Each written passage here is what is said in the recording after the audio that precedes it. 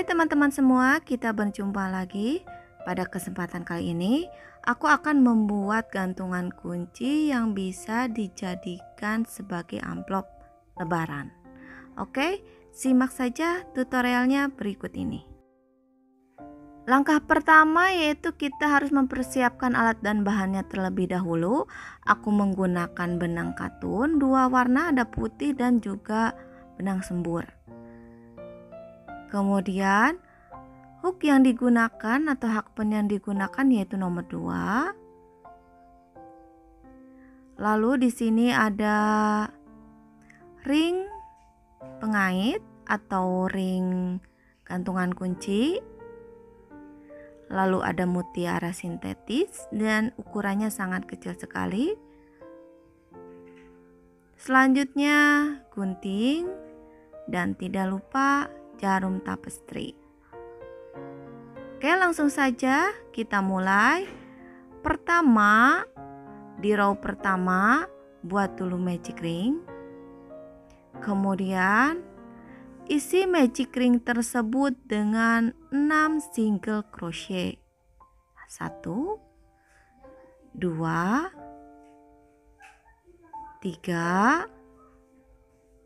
4 5 6 Selanjutnya tarik. Nah lalu kita masuk row kedua. Nah jangan lupa kasih penanda dulu Sebagai awal membuat row kedua. Nah row kedua Di loop pertama itu isi dengan increase Atau dua single crochet dalam satu lubang. Di loop berikutnya isi juga dengan increase. Jadi polanya buat increase di setiap lubang, di setiap loop. Nanti totalnya ada 12 stitch.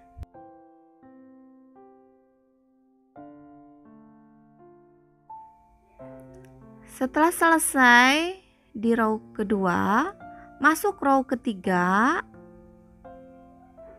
Nah, di sini loop pertama isi dengan satu single crochet. Kemudian loop berikutnya itu diisi dengan increase atau dua single crochet dalam satu lubang.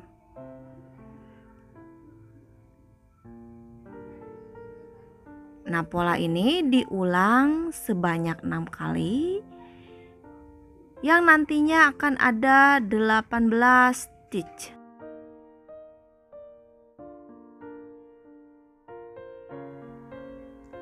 Nah, di sini polanya satu single crochet kemudian increase, satu single crochet dan increase. Terus diulang sebanyak enam kali. Nah, ini sudah selesai. Sudah ada 18 stitch. Kemudian masuk row keempat. Di loop pertama itu buat single crochet. Kemudian loop berikutnya satu single crochet. Nah, baru di loop ketiga isi dengan increase. Atau dua single crochet di dalam satu lubang. Nah, polanya terus diulang sebanyak 6 kali. Oke, di sini satu single crochet, satu single crochet, baru increase. Nah, terus diulang sampai ketemu penanda sampai total ada 24 stitch. Kemudian kita masuk row 5 Nah, di sini buat single crochet sebanyak tiga kali. Jadi, masing-masing lubang satu single crochet buat di tiga lubang. Nah, ini sudah ada tiga single crochet. Kemudian loop berikutnya baru isi dengan increase.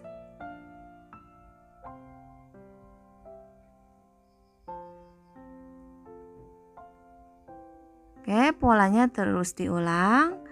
Satu single crochet, satu single crochet, satu single crochet, baru increase. Ada tiga single crochet lalu increase. Oke. Selesai di row 5, lanjut row ke-6. Nah, di sini buat single crochet memutar. Jadi dalam satu lubang hanya isi satu single crochet saja. Nanti total stitch di row ke-6 ini ada 30.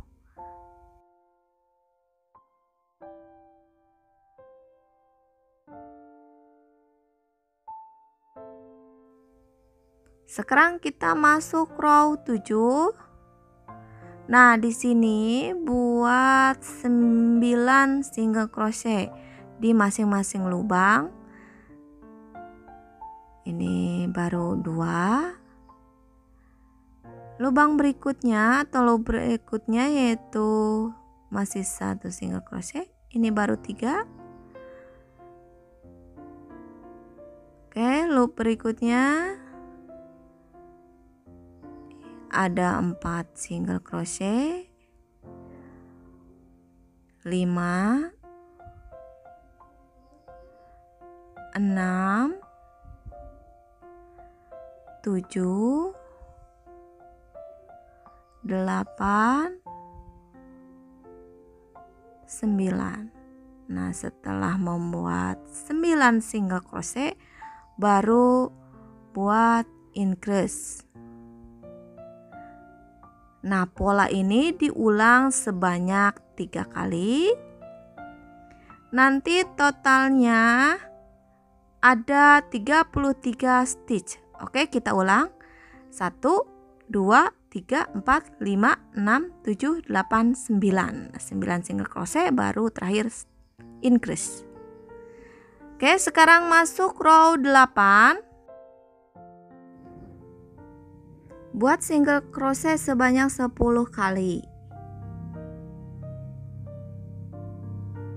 Nah, ini lubang pertama atau loop pertama ini baru diisi satu single crochet, kemudian loop berikutnya satu single crochet. Nah, ini baru ada tiga, empat, lima, enam, tujuh, delapan, sembilan, sepuluh. Nah, setelah sepuluh single crochet baru buat increase.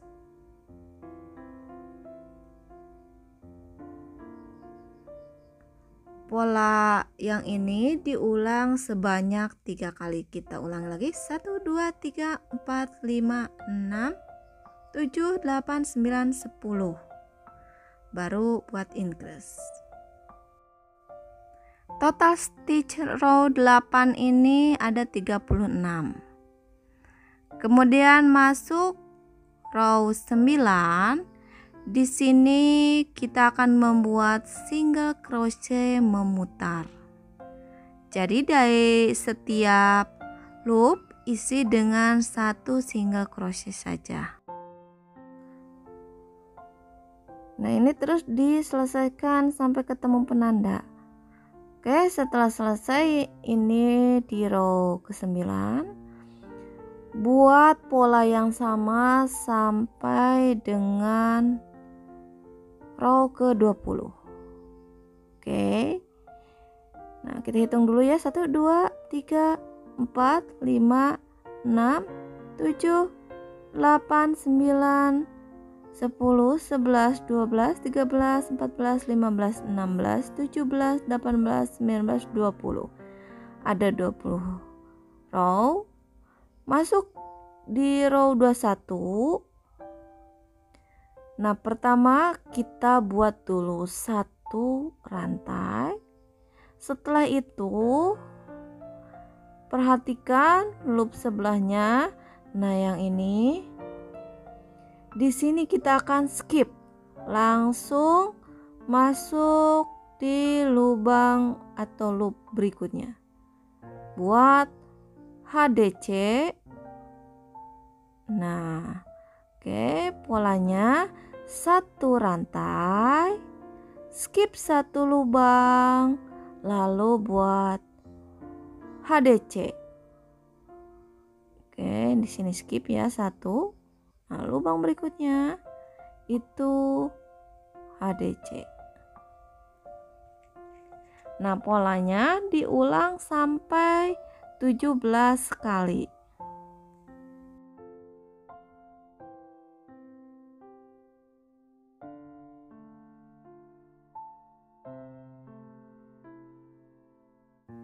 Nah, ini bagian terakhir itu buat satu rantai. Kemudian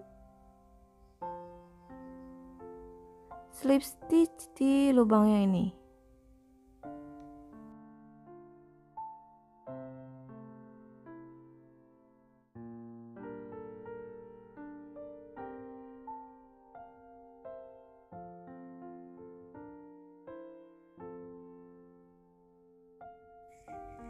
Masuk row 22.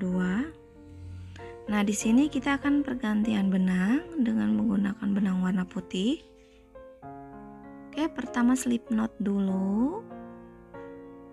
Nah, lalu tarik benang warna putih. Caranya bisa dilihat. Kemudian langsung buat dua rantai. Lalu diputar atau dibalik. Nah, kita akan membuat double crochet di sebelah sini. Nah, ini lubang CH yang dibuat di row sebelumnya isi dengan tiga double crochet ini baru ada satu dua tiga oke masuk di lubang berikutnya Nah, di sini sama polanya buat 3 double crochet.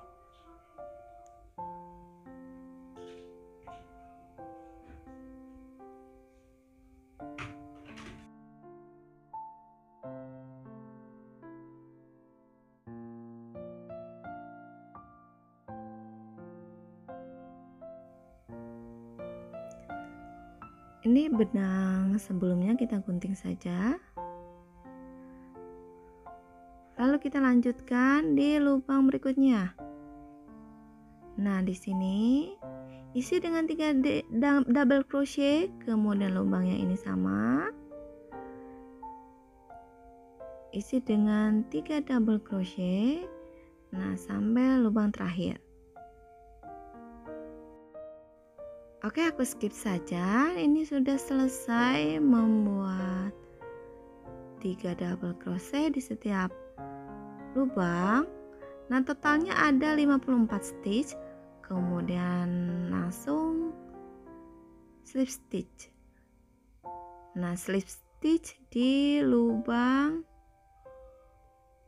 double crochet pertama. Oke, setelah itu buat satu rantai, kemudian Isi setiap lubang double crochet ini dengan single crochet. Jadi buat single crochet memutar.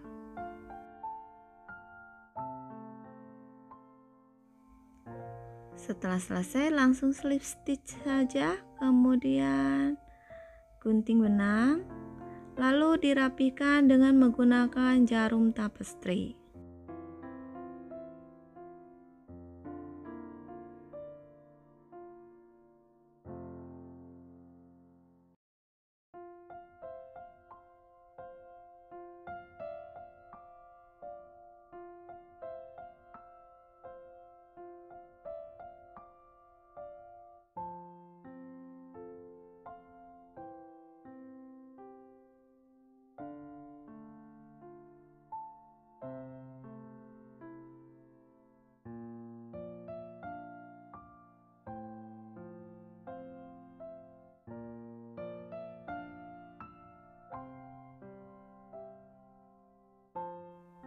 Selanjutnya kita akan membuat tali.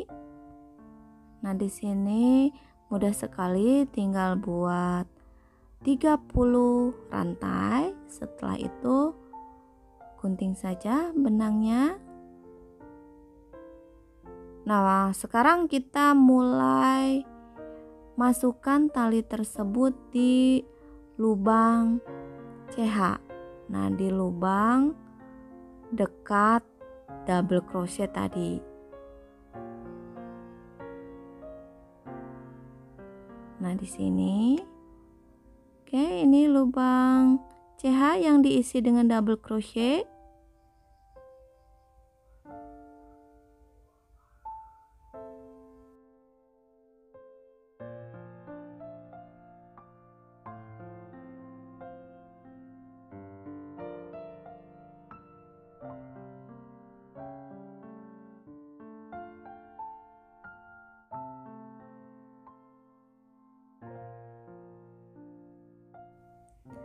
Oke, setelah ketemu ujung,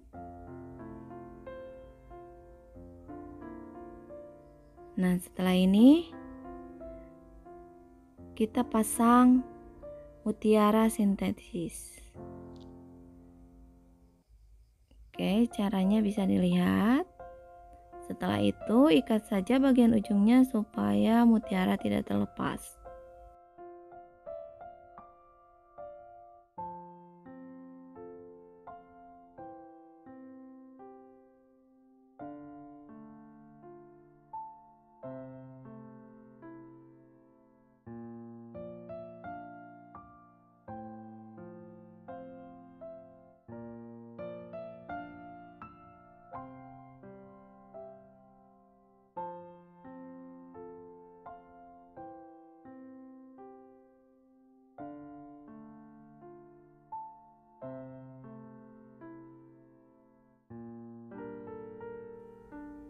Selanjutnya, kita akan memasang ring gantungan kunci.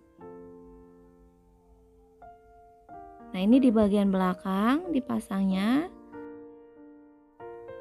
Nah, tutorial membuat gantungan kunci yang bisa digunakan sebagai amplop lebaran sudah selesai.